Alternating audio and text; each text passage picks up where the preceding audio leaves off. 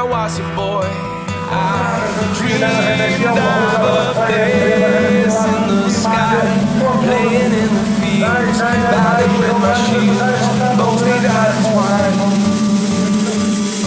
I wish I could.